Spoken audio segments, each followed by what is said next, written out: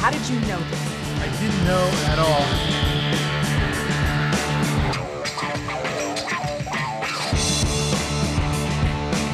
Take an epic journey into the world of dinosaurs in one of the most breathtakingly beautiful Disney Pixar films to date.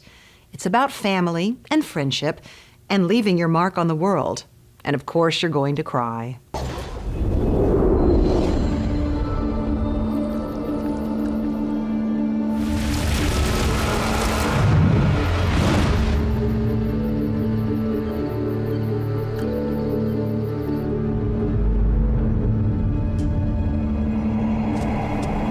I think we went far enough today. Let's get you home.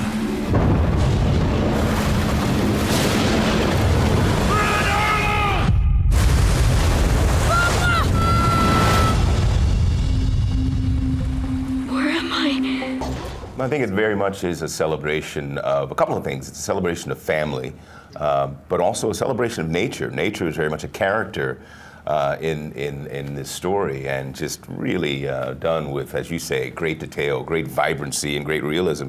I think people are really going to enjoy the film because it's really like just putting a dinosaur on Earth, like you said. I think that's a big thing. It's like you're just, you can walk outside and see the exact same thing that you're watching in the movie. And it's really weird that that happens because this is takes time millions of years ago with dinosaurs. So it's just an amazing thing that I think really people are going to enjoy.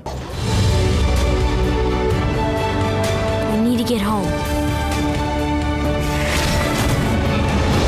I got a job for you. Keep on the dodge and sidle up the law, but only pass them hornheads.